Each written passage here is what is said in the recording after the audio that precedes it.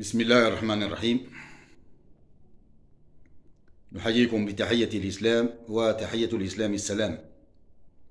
السلام عليكم ورحمة الله تعالى وبركاته. صباحكم سعيد. كما عودناكم ومنذ سنتين متواصلة وبدون انقطاع وبإصرار وبعزيمة قوية وبإيمان قوي بحقنا المشروع في الترقي بدون قيد أو شرط مع رد الاعتبار وجبر الضرر لجميع شيوخ التربية والتعليم قدماء المحاربين الذين توظفوا بالسلم السابع أو بالسلم الثامن عموما.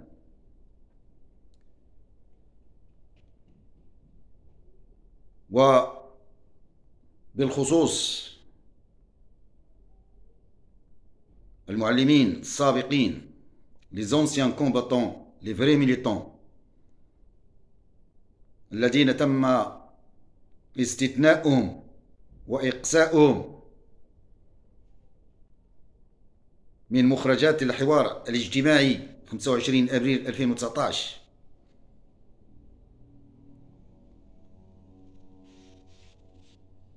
وهم جميع قدماء المعلمين المتقاعدين جميع الأفواج من 2003 2004 2005 إلى قبل 2012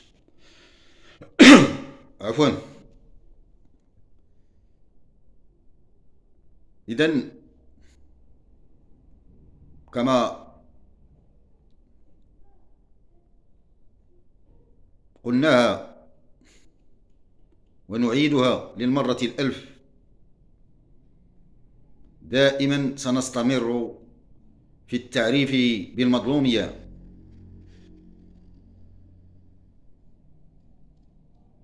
والكشف عن جميع التجاوزات.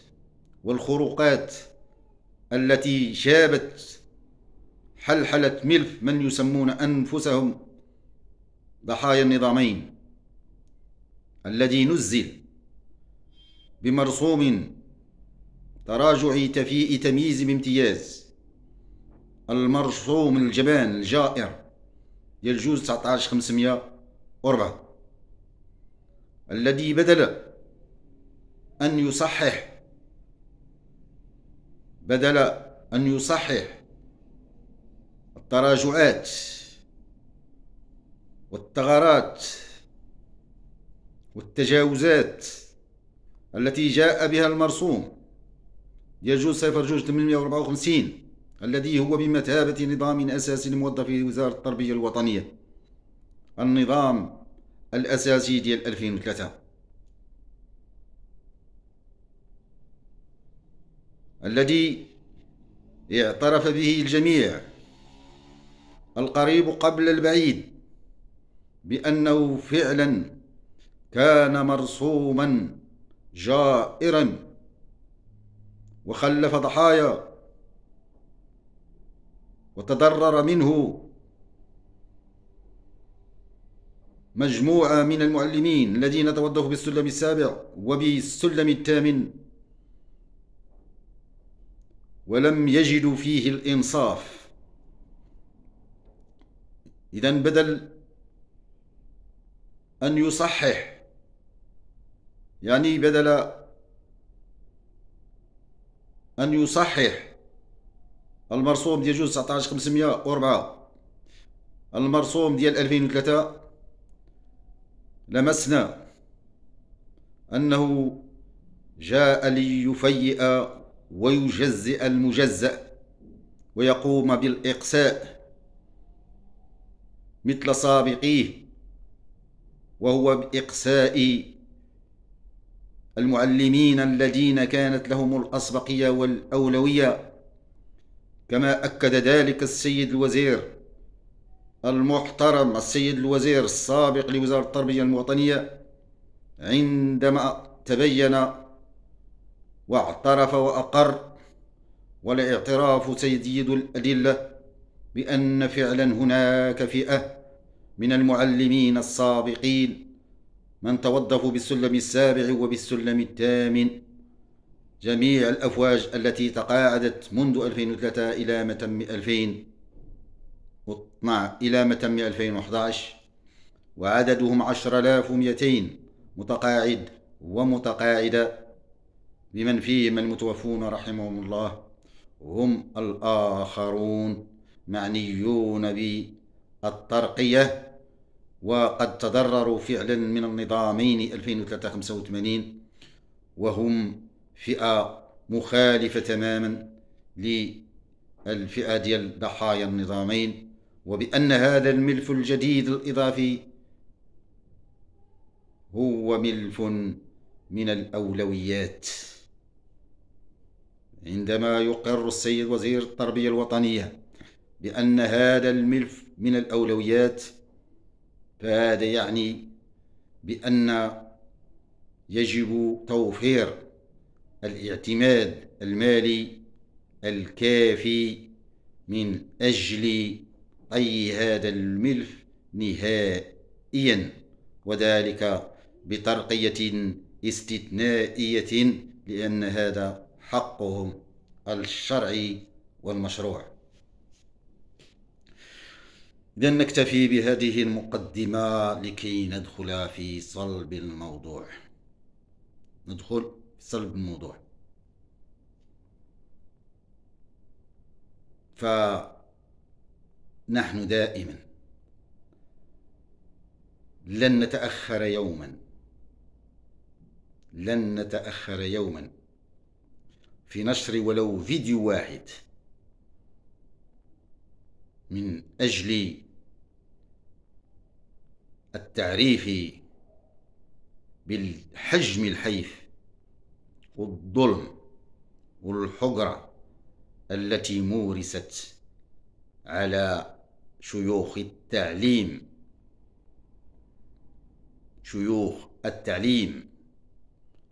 الذين كان لهم الفضل بعد الله سبحانه وتعالى في بناء المدرسة العمومية منذ فجر الاستقلال وفي بناء المنظومة التربوية والتعليمية وفي بناء الأحزاب والنقابات وبالتضحيات الجسام التي قدمها هؤلاء الشيوخ عندما كانوا في ريعان شبابهم وأعطوا بدون مقابل منذ الستينات والسبعينات وبداية الثمانينات وفي آخر المطاف في آخر المطاف يتنكر لهم الجميع ويقومون بإقسائهم من حقهم.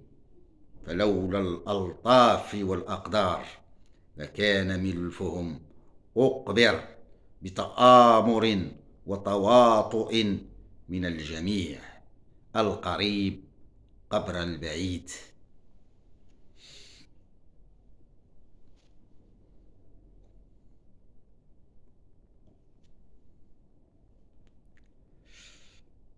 إذا دائما نقولها وتنعاود نكررها ديما كاين الاستمرارية. ديما استمرارية. لأننا آمنا. إيمان راسخ. يقطع الشك باليقين. بأن الحل اللي داروه في 2019 بداك المرسوم المشؤوم ديال جوج 19 504 كانوا ينوون مع سبق الإصرار والترصد. التخلص نهائيا من عشر آلاف ومئتين متقاعد ومتقاعدة بدون رحمة ولا شفقة. لأنهم لا يفكرون لا في الوضع الاعتباري ديال رجل التعليم ولا في الوضع الاعتباري ديال المتقاعد المعلم اللي عطى المعلمين السابقين تفكروش لهم لا في وضع اعتباري ولا هم يحزنون. لا يفكرون في الحقوق. رغم أن هاد الناس اللي عشرة آلاف ومئتين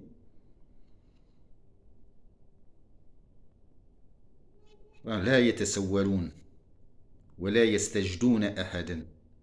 هذه كانت حقوق ديالهم. حقوق ديالهم وتم اغتصابها كما تم اغتصاب سنوات وسرقة سنوات تعد بالعشرات من مسارهم المهني من كانوا تيمرمطوا بهم الأرض وتيأخروا الترقيات ديالهم لسنوات. وتيأخروا الترسيم ديالهم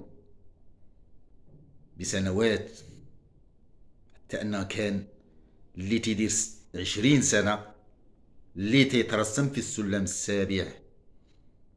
وكاين اللي تيترقى من سلم إلى سلم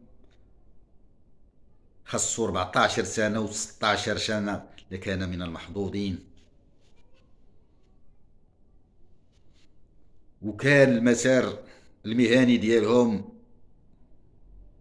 محدود جدا خصوصا الفئات ديال قبل ما يجي المرسوم الكارثة ديال 2003 اتفاق منتصف الليل.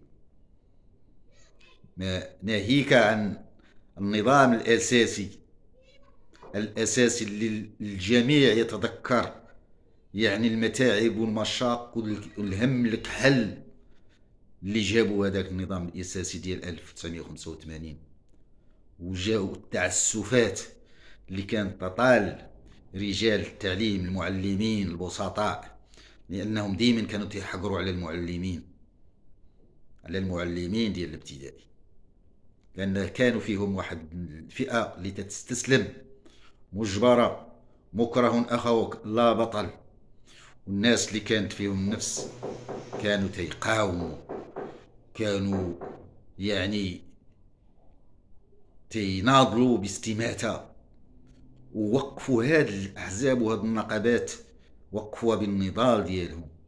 وجميع هذيك المكتسبات اللي جات لهادوك المحظوظين ديال 2003 واللي كاينة الآن كانت بفضل التضحيات الجسام اللي قدمها هاد الشيوخ اللي الآن أغلبية ديالهم يعني تقاعدوا تقاعدوا بمعاش هزيل تقاعدوا بالسلم العاشر وما دون كاين اللي تقاعد بالسلم التاسع وما دون وتقاعدوا بمعاشات لا تسمن ولا تغني.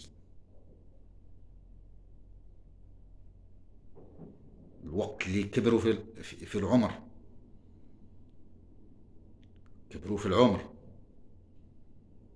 ومرضوا أمراض مزمنة ومستعصية.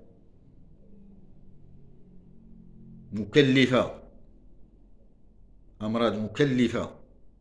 وهذه الأمراض كانت سببا للمشاق التي تكبدها هؤلاء المعلمين أثناء ممارستهم لمهنتهم النبيلة. تنعرفوا المدرسة العمومية في الوقت ديالهم في الستينات وفي السبعينات؟ كانت يعني الفترة الذهبية الفترة الذهبية. في آخر المطاف يعني ما حتى المصاريف ديال العلاج ديالهم ديال الأدوية ديالهم. من زرنا وقفنا على حالات ديال بعض الإخوان. لبعض الإخوان اللي كانوا مناضلين أشاوس من كانوا شخ... من كانوا في الصغار ديالهم في الشباب ديالهم. يعني هذيك المعاش ديال 3000 درهم ولا 2500 درهم. ما تتكفيهم حتى في شراء ديال الأدوية ديالهم. وتيحكي لي بعض واحد الأخ اللي عنده 42 سنة ديال العمل خلاو ليه 3000 درهم قاعد بالسلم التاسع.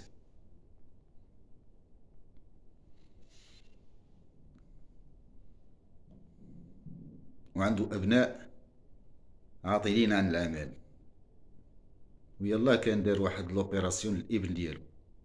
من خرج الابن ديالو عاود هو تا هو دار واحد l'opération مسكين راه راه خرج الاثنين اللي فات. وقال لك حتى داك تيتصارف مع واحد الصيدلاني الله يجازيه بخير. قال لك في بعض الأحيان في بزاف ديال الأحوال عارف الظروف ديالو. قال لك ما تيبغيش يتخلص مني. تيبغيش يتخلص مني. 3000 درهم.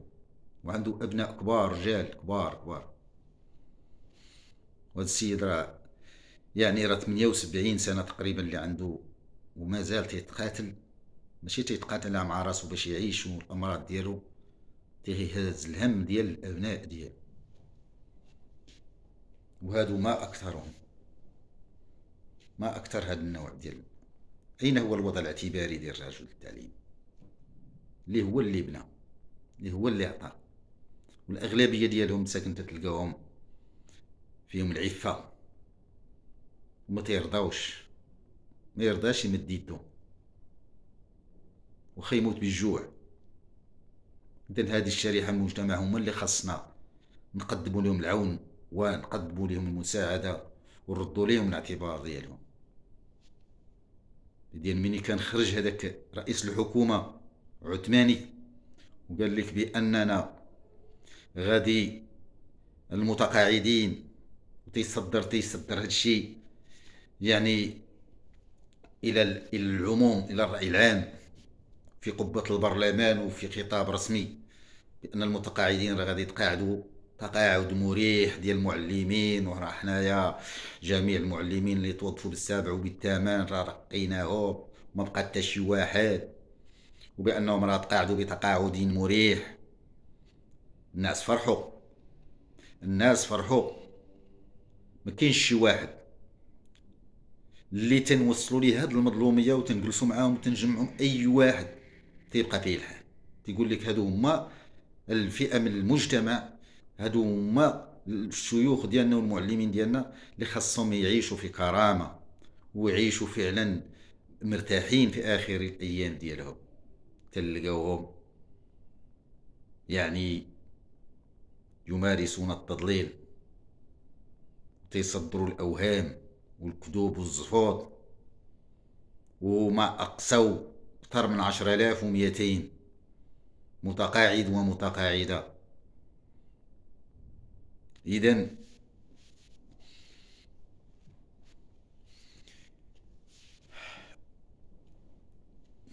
والله الا هادشي تيضر في الرأس فعلا. يومين تنشوفو حنايا تنشوف خصوصا خلال هاد الانتخابات وداك الشيء اللي سمعنا. الفلوس صحيحة اللي تيقول لك 80 70 مليون تيشريها بها صوت كاع كاع متي. بحالها تيلعب وضرب في 50 في 54 صوت ل 60 صوت اللي جالسين كان تسرب هذاك الشيء وهذاك الشيء راه كلش نتوما عرفتوا كيفاش. داكشي تيضر في الراس. واحدين اللي خدموا 42 سنة و40 سنة 37 سنة 36 سنة. يتقاعد بالسلم التاسع. ب 2500 درهم. وما دون. كاين اللي تيشد 30 كاين اللي مات الزوج ديالها ولات تشد 24 ألف. زوجة الأستاذ المعلم اللي كان الكل تيحترمها ويقدرها ملي كانت المدرسة كان الوضع الاعتباري ديال المعلم في السبعينات والستينات كان الوضع الاعتباري. المعلم هو الأساس. وضع ديال الاعتباري متميز. هذاك الشيء علاش كان العطاء وكانت المدرسة العمومية متميزة.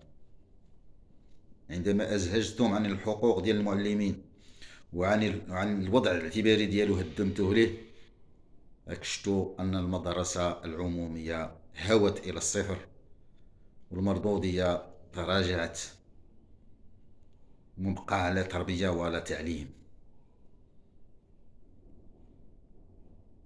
كله مرتبط بالوضع الاعتباري لرجل التعليم واخا تجيبوا أي منهاج أحسن منهاج في العالم راه اللي تينزلوه هو رجل التعليم خاص يكون استقرار مادي نفسي اجتماعي اعتباري لرجل التعليم والكل يحترم رجل التعليم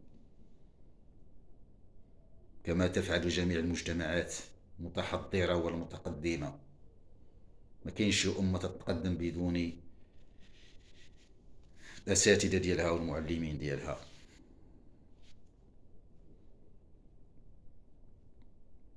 إذا من هنا نعرج. كاينين اللي تينادوا الآن حنا قبل ما ندخلوا في المنادات الكل الآن يترقب تشكيل الحكومة المقبلة. تشكيل الحكومة المقبلة. كل واحد تيضرب التماسي في سداسي والجميع كل واحد راه شاد ميلفو يدو على الأرض شاد الملفات ديالو. خصنا نهضرو حنا على على التعليم. على رجال التعليم ونساء التعليم ولا ملفات المطلبية ديال رجال التعليم اللي تتفوق 23 والتمثيليه النقابيه راه حنا شلنا اللجان الثنائيه في 16 جوان شكون اللي دازو وشكون اللي غيكونوا في التمثيلية. الثلاثي اللي غيمثل التمثيلية. لا تكون محاضرة ولا غتحاور وغادي ترافع على الملفات المطلبيه ديال الرجال ونساء التعليم وتنتمناو صادقين باش هاد الخطرة تكون مؤتمنة فعلا عن الحقوق ويكون عندها واحد الضمير تكون عندها واحد الصحوة ديال الضمير ديالها وتقدم فعلا الملفات ذات الأولوية والأسبقية. ما تكونش واحد الأنانية مفرطة. ما تكونش واحد الأنانية مفرطة والفئات اللي تضامن التضامن نضاليا في 2003 خاصها تكون عندها الأسبقية. تكون عندها الأسبقية.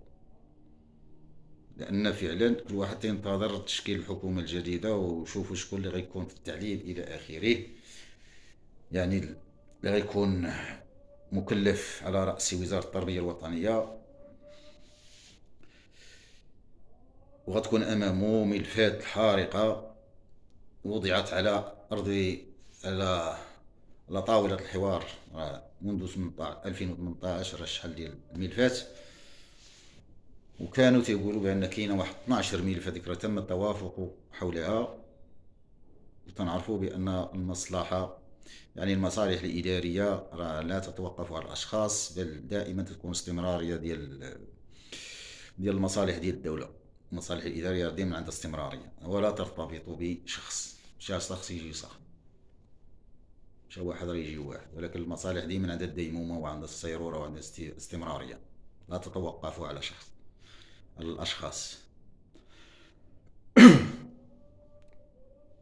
إذا تنعرفوا انهم كاينين اللي باغين كل واحد تيشوف غير نشا على كبوالتو بغي يدوز غير الفئة اللي هي تشكل القواعد ديالو وتشكل المنتمين المتعاطفين إلى آخره.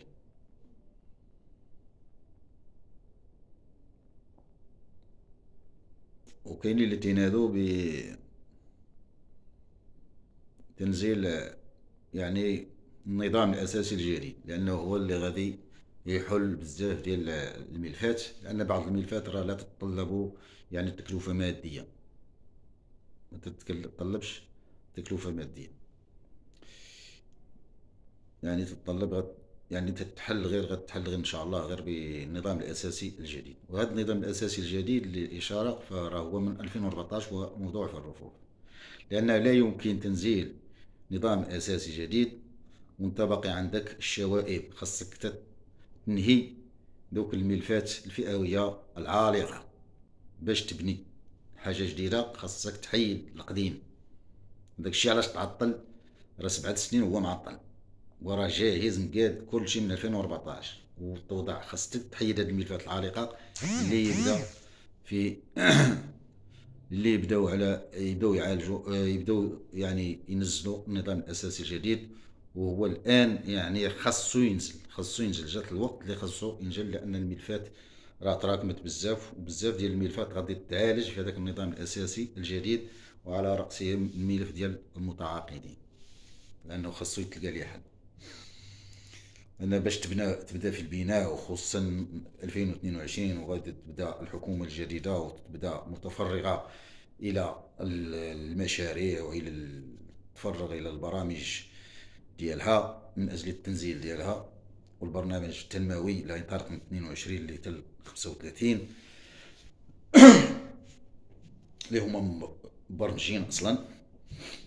إذا خاصها تقوم بمعالجة الملفات الاجتماعية والاقتصادية على رأسها الملف المطلبي في شموليته ديال رجال التعليم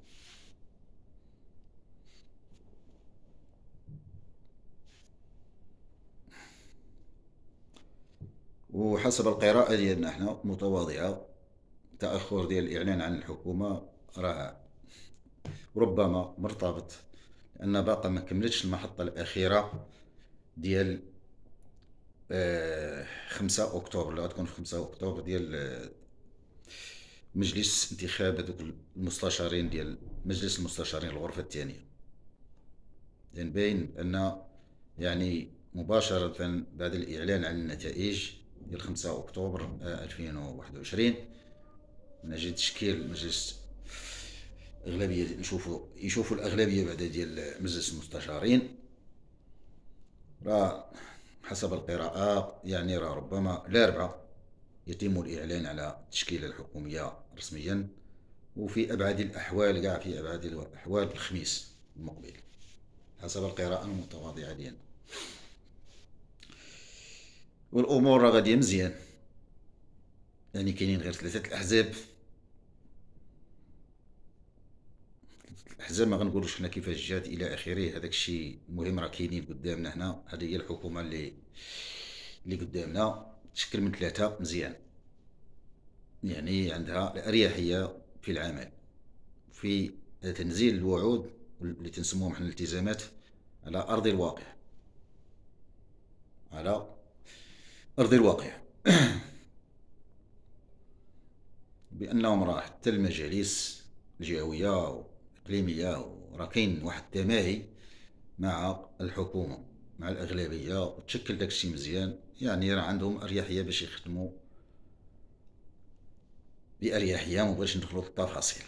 مبغيناش ندخلو في التفاصيل كيفاش داير داكشي حتى ضرورا نقولوا. حنا نكونوا يعني إيجابيين شيئا ما. اذا فالملف أول حاجة لأن راه هما كاين بعض الاشارات ديال بعض المقالات يعني راه 23 ملف راه ما يمكنش غادي تنزل عفوا مرة واحدة أو دفعة واحدة. غتكون عبر سنوات. معالجة هذه الملفات غتكون عبر سنوات وراه كاين 12 ملف بعدا اللي هي زائد الملف الإضافي ديال المعلمين اللي توظفوا بالسابع والثامن اللي اعترف به السيد الوزير. المعلمين اللي تقاعدوا من 2003 جامع الأفواج إلى ما تم 2011 هادو من بين الملفات اللي تم التوافق حولها. يعني حسب ذاك تتبقى ملفات أخرى ذات أولوية. ولكن نعطو مثال حنا مثلا ديال hors échelle. هاد hors échelle. hors échelle راه ميمكنش تبدا تعالج أنت في hors échelle. ناس عندهم 11 فعلا هذاك 11 راه ما عرفناهم رجال الإنقاذ ديالنا حنا. في 2003 جعل الأنقاض ديالنا الناس تقاعدوا بالتاسع. في أحسن الأحوال تقاعدوا بالعاشر وكان حقهم خصهم يدوزوا حنا قلنا ضحايا الماده 112 إلى آخره. فما يمكنش. واحد عنده الأونز وبغيتي تعطيه نتايا اوريشيل وانت باقي عندك وحدين ناس جالسين في في ال dix. كاين اللي توظف ب اللي توظفوا بالعاشر وباقي ضارب خمسة وعشرين سنة دوك اللي توظفوا بالتاسع وباقي كاع ما داز ال onze. فواجير خمسة وتسعين ثلاثة وتسعين ربعة وتسعين. مثلا. وكاينين المزاولين وكاينين المتقاعدين. اللي باقيين في في ال dix قاعدين بال dix كاين اللي متقاعد بال dix كاين اللي متقاعد بال neuf كاين عندك عشرة آلاف هما الأولين.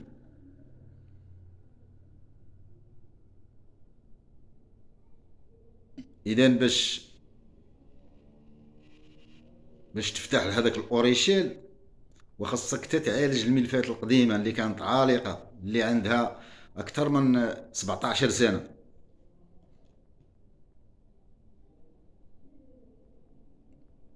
ولا 18 سنة.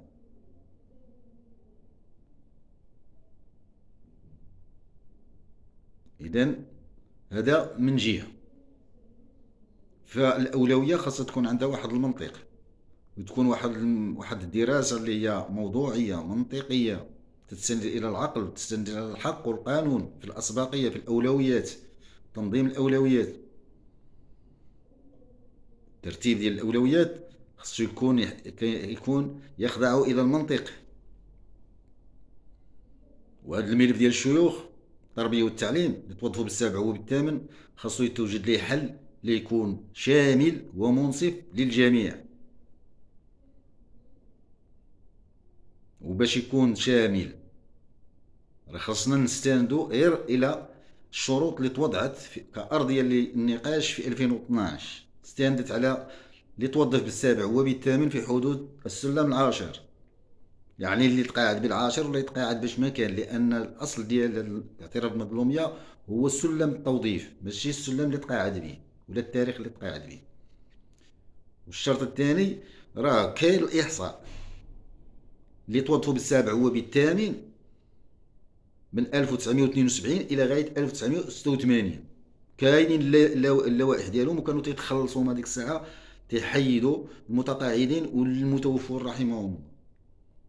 اذا هذيك اللوائح الإحصاء اللي كان دار من 72 حتى 86 يقومون بتحيينهم. بتحيين هذيك اللوائح كاملة ديال هذوك الناس اللي كانوا محصيين. وراهما اوتوماتيكمون غادي غادي يخرجوا في شكون اللي كان اللي معني بالأمر ولن يستثنى أحد. ما يقدروش يستثنوا شي واحد. لا اعتمدوا الإحصاء. ماشي جاو حتى 2012 واعتمدوا السنة ديال الحاله على التقاعد ووقفوا. التحيين حينوا غير من 2012 ل 2015 وحينوا من 2016 وما بعد. اذا التحيين باش يكون واحد الحل جذري وشامل ومنصف خاص اللي تحصى. جميع الناس اللي توظفوا توظفوا بالسابع وبالثامن وتم الإحصاء ديالهم من 1972 إلى غاية 1986 يتم تحيين الوضعيات ديالهم الإدارية اللي تحير راه باين واللي باقي ما تحينش راه غادي يبان.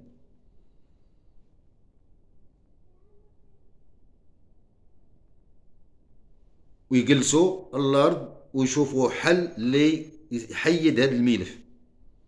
سواء هذوك 154 اللي باقيين اللي ما كملوش الشرط النظامي ديال 10 سنين سواء الناس اللي تضروا من الاصلاح البنكيراني ديال اللي جا ديال 2017 وديك 10200 اللي كانوا قصوها كامل باش يكون واحد الحل شامل وهما قالوا الطي وباش يطووا هذا الملف ويردوا الوضع الاعتباري ديال رجل التعليم. لأن هذا حقه. راه كاين أميين أميين تيشد لك زبالة ديال الفلوس. داخلين البرلمان تيمشي يجلس لك واحد راه قالها واحد البرلمان كاع ميكو عيد غيا رغم ديك التصريحات الخطيرة كاع تنعرفوا حنا بعض القنوات موجهة موجهة. موجهة موجهة. هي موجهة وتقوم بتوجيه الراي لها تيمشو يجلس لك في البرلمان أربعة سنين ولا خمسة سنين و...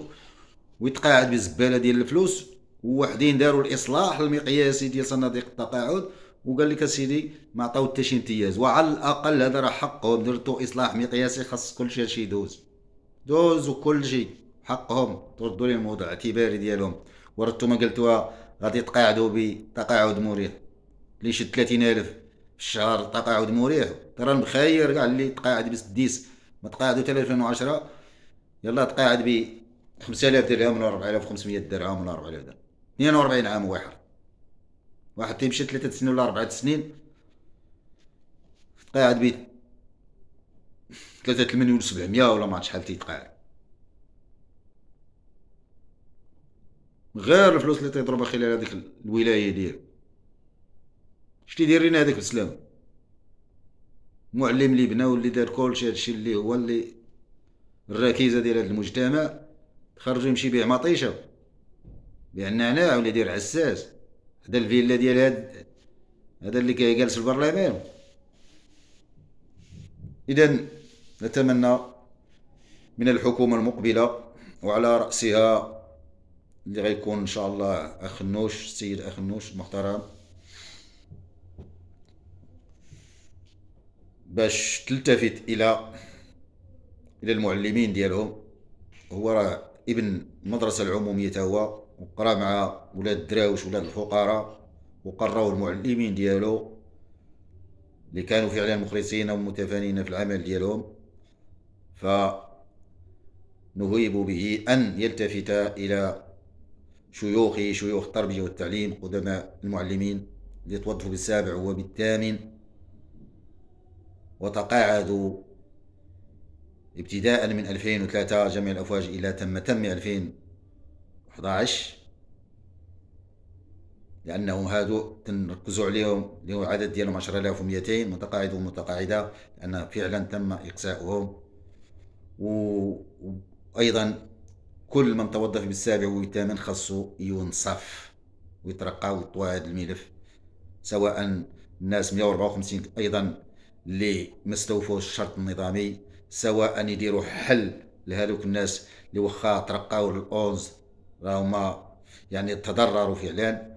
فاحنايا خاص نوحدوا الكلمة نوحدوا الصف من أجل مواجهة أي تجاوز كان مستقبلا لأن كل واحد راه غادي يضرب صوت على كوالتو. وحنا خاصنا حنا نوقفوا الند بالند حتى نرجعوا حقوق ديالنا كاملة مكتملة ونكون وحدة على وحدة موحدة كلمة رجل واحد كما كنا في الستينات وفي السبعينات داخل الأحزاب العتيدة والنقابات العتيدة. وتحية نضالية للأحرار والحرائر الشرفاء والشريفات في هذا البلد الآمن الأمين من طنجة إلى القويرة والله يدير لي فيها الخير.